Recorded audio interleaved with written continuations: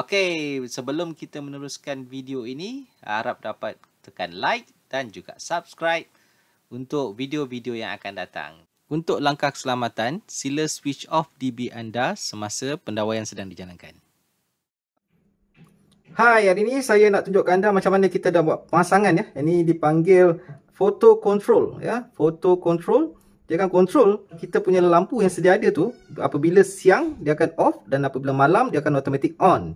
So, saya akan buat pemasangan kepada pendawaian yang sedia ada ni iaitu saya menggunakan spotlight ini jenis spotlight 10 watt IP66 ya. So, saya akan buat pendawaian untuk pemasangan ni supaya dia akan control lampu saya ni apabila siang dia akan dia akan off dan apabila malam dia akan on automatic.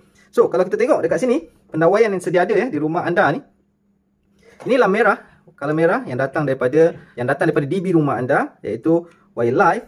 Ia akan masuk ke dalam Swiss ya. Swiss dia ada di rumah anda. Dan kalau kita tengok di belakang dia, kemasukan dia dia masuk ke dalam Swiss dan terdapat lagi color merah iaitu wire live yang akan masuk keluar daripada siling rumah anda dan connect dengan uh, lampu rumah anda ataupun spotlight ya. Sekarang ni untuk color hitam ialah neutral, dia direct daripada DB, dia akan terus pergi ke lampu rumah anda Warna hijau ialah wire earth, dia akan terus ke spotlight rumah anda. So pendawaian ni biasanya di dalam dinding, ya. Yang anda lihat hanyalah dibucu di luar ni saja.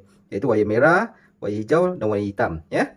Dan sekarang untuk pemasangan ni, saya nak mencuba memasang sensor ni ke spotlight saya. So daripada siling rumah anda tu, then saya akan memasang pendawaian ini. Untuk tu sebelum kita meneruskan pendawaian, kita check dulu sama ada pendawaian yang sedia ada ni ialah okey atau tidak. So kita switch on. Okay, saya switch on dia on, dia off. Dia on, dia off. Okey, so pendawaian dia adalah okey. So sekarang saya nak buat pemasangan sensor ni eh. Okey. So kalau anda tengok dekat sensor ni, dia terdapat dia ada tulis kat belakang atas dia ni, dia ada tulis warna red itu warna neutral, warna white. Okey, line ialah black. Okey, so bermaksud ialah black, warna black ni pendawai yang, da yang datang daripada rumah anda eh, ya, ataupun daripada Swiss. So dengan tu saya akan membuka connection ni. Kalau kita tengok sini, yang black ialah untuk pendawaian panggil live eh. So kita tengok ni warna merah ialah live. So kita akan buka connection ni. Connection lampu sedia ada ni kita akan buka. Okey. Kita keluarkan wire live ni. Dan seterusnya saya akan masukkan yang yang wire hitam ni. Okey, wire hitam ke dalam connection sedia ada ini. Okey. So connection sedia ada, saya akan screw dia. Okey. Ikat dia sampai ketat. Check. Okey. Dan seterusnya kita perlukan connector eh, connector untuk menyambungkan kembali wire live eh, wire live yang menuju ke spotlight ya. Yeah. Yang ni dia guna warna coklat. Coklat yang menuju ke spotlight dan uh, wire merah yang datang daripada wire merah Swiss disambungkan warna hitam ya. Yeah dan kemudiannya kita akan sambungkan ke warna, warna merah. Okey, ini yang keluar pergi ke spotlight. So, kita akan buat penyambungan. Alright. So, kita perlukan connector ya. Connector. Satu connector. Kita akan buka skru dia luas-luas sikit. Bukaan dia. Okey. Depan dan belakang. Alright. So, seterusnya kita akan masuk connection ke dalam sini.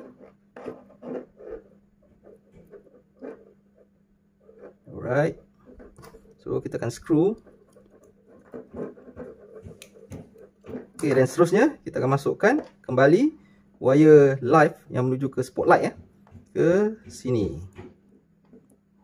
Ke connection ni. Okay, so screw ni kena longgar lagi.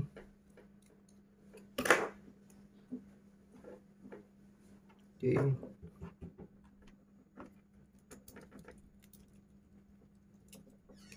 Alright.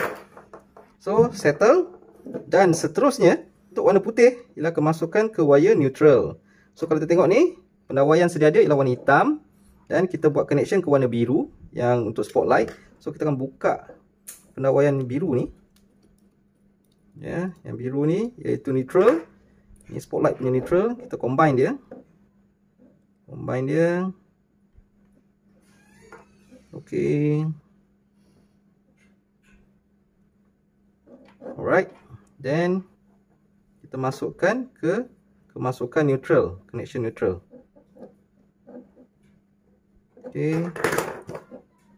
Dan kita ikat dia. Alright. So, check. Check. Okey. So, sekarang kalau anda perhatikan, kita tidak usik yang wire earth ya, warna hijau yang bertemu dengan spotlight warna kuning, wire warna kuning.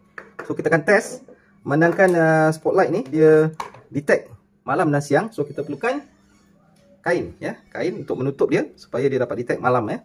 Okey. So, kita akan cuba on dulu. Kita tengok apa terjadi. Untuk pertama kali,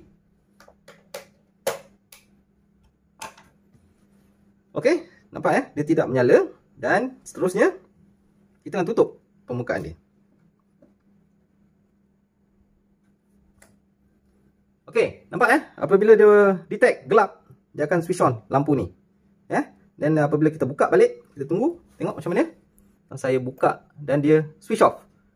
Okey.